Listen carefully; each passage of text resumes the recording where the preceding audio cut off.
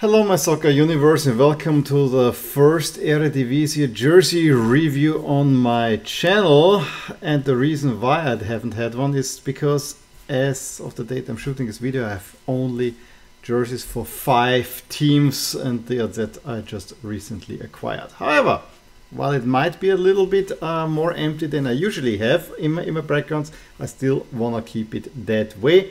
And what's even more important, for every part of the video that I'm shooting, I have a jersey to wear. So that's all the fun of it. And I'm really, really excited about doing that because the Eredivisie, to me, had always some sleeper jerseys and some really, really interesting ones in there. We also have tons of different suppliers that we don't usually call in the big leagues at all. Now, in this video, I will go through the jerseys that have been released for each of these uh, teams and give them a grade from 1, the worst, to 10, the best. My personal view. At the end, I will ask you which jerseys you agree or disagree with me uh, in here. The pictures I've taken from the wonderful page Football Kit Archive, which you definitely should check out, and then a little, a little bit of editing that it all fits nicely. As for which team goes in which video, if you're a long-time viewer of my channel, you already know I take last season standing and then I go 1, 2, 3, 4, 4, 3, 2, 1. We have 18 teams, so 4 videos. And you know, each number for the video. And so, in this video, we have Feyenoord, Vitesse, NEC and Nijmegen, and with Sparta Rotterdam, so two Rotterdam teams in there. Only four teams because we're now entering the second part, part three and four of the Eredivisie jersey review. Uh, we'll sort them, of course, alphabetically, how I call them, and that's why we start with the team that I'm wearing, which is, of course, Feyenoord, who at the moment of shooting this video are top of the table. And while Ajax shirts by Adidas get all the plaudits, I think Feyenoord shirts are very much overlooked. Uh, as of late, Adidas have done a really, really good job with Feyenoord shirts by keeping the half-half look straight. The reason why I do not like this jersey all that much is because they don't keep the half-half look straight here.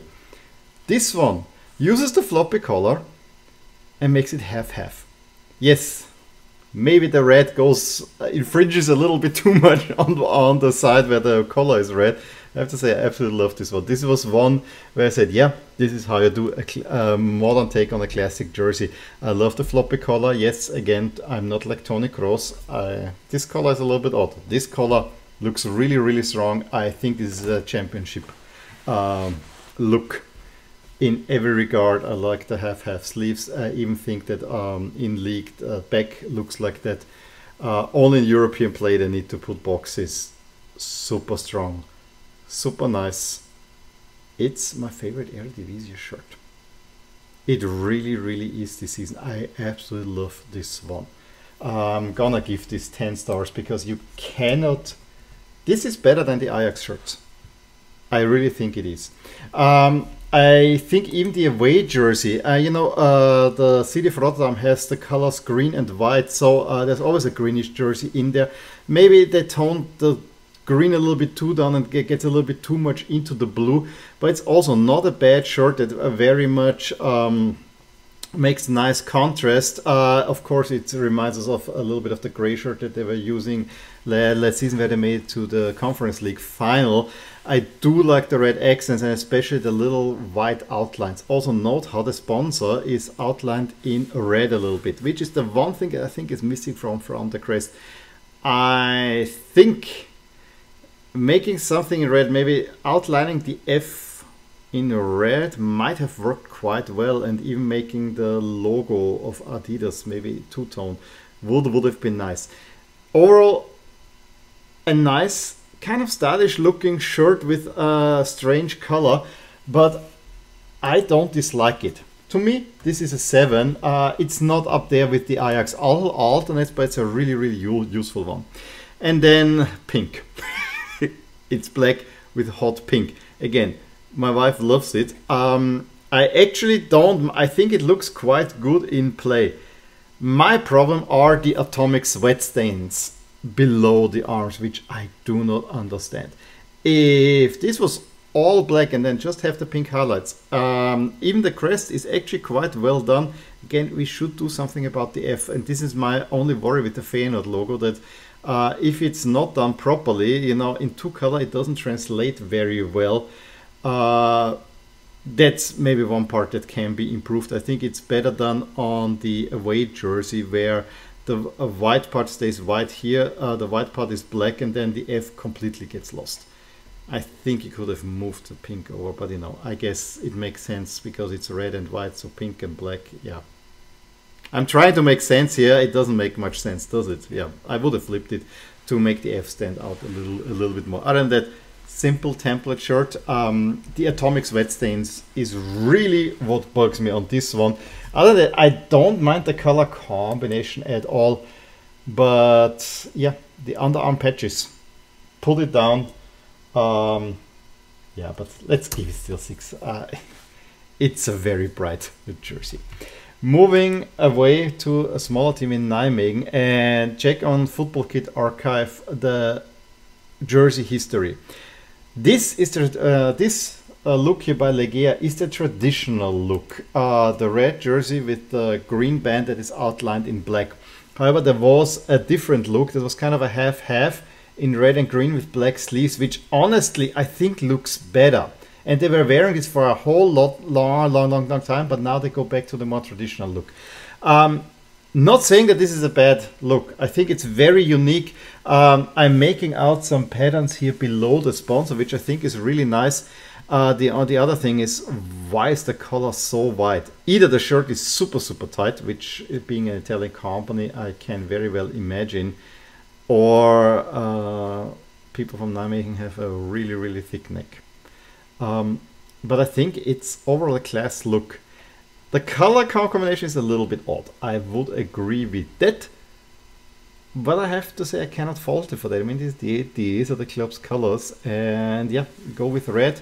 It's not red and white, which is all that I usually ask for from the Netherlands. Let's give this thanks to the pattern. Yeah, the sponsor a little bit, but I would give this jersey an 8 uh, star. The away jersey I think is even nicer again white color but I really like how the club's colors are put into this checkerboard. Squares other, otherwise a white white shirt. That is a winner.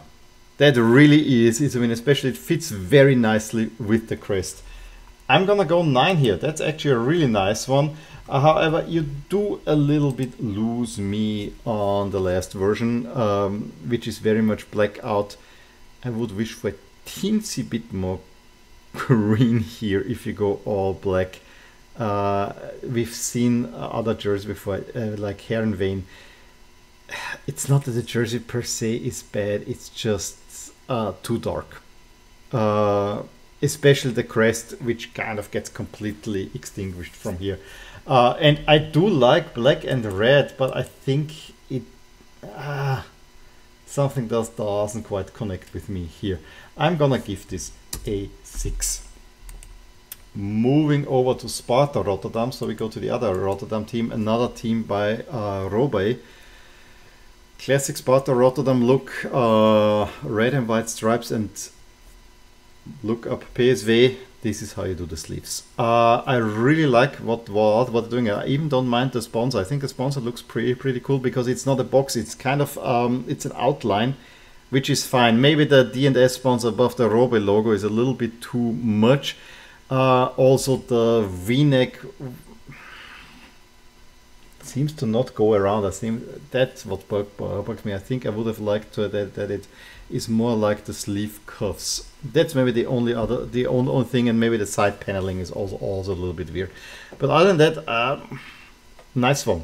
I I I I would say, but I wouldn't go higher than seven with this one. Um, it's almost a Feyenoord shirt, the away jersey.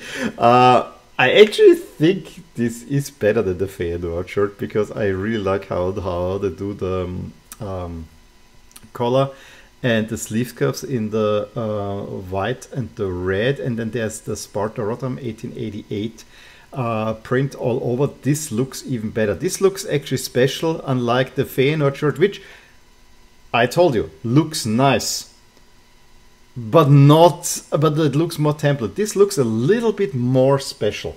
Uh, I'm gonna actually rate this quite high. Uh, I think uh, it's not nine. It's an eight star, but it I really really like that one. However, uh, I do not understand blackout jerseys. I do not understand blackout jerseys. I just don't. And I understand. Okay, black, black, black, black, black. It's what Dortmund were, were doing. Why? Why? Yes, it's a trend.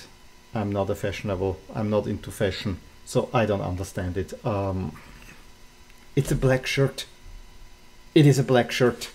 That's all there is, and you cannot even make anything out on it. So I, to me, it's pointless. But I like black. Let's go with six. Let's go with six. No rhyme or reason right here. Uh, moving on to Vitesse, who had some quite adventurous home jerseys over the years. Now we have a winner. I love this Nike template. We saw it with Sturm Graz and other teams. This is really, really nice looking. Uh, I actually would like to have this jersey. Either one of the old classic Vitesse shirts or this one. I think it really looks nice. I think uh, might be even uh, anniversary because I see a 130 in the old foot football. But I uh, sponsor everything fine.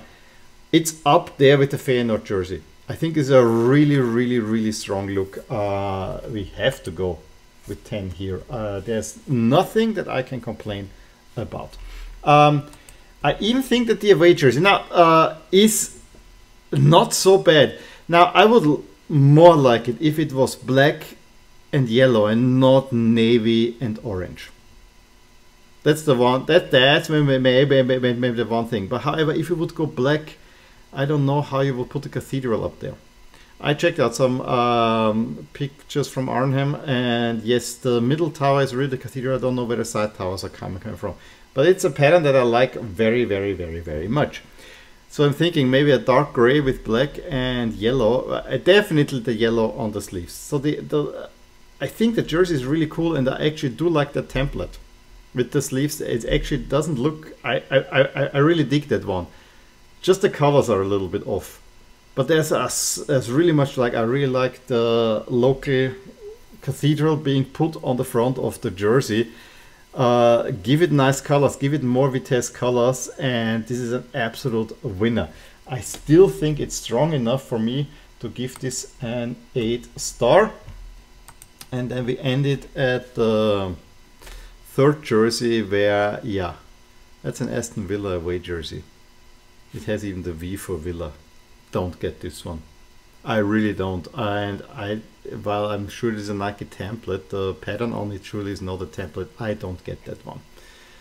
I don't get the colors. I don't. Uh, it's it's a it's a miss. It's a miss. For other teams, I might like like this. Maybe, maybe I'm now speculating. And yeah, forgive me. I should probably have researched that better, but time is rather uh, tight these, these days. Don't have much time for research. Maybe this is the original look for Vitesse. Maybe. Let's see. Three. And there we go. This was the last jersey in this review. Please let me know which jerseys you liked in here and which ones uh, you disliked, where you agree with me, where you disagree with me. Give me a thumbs up if you enjoyed this video.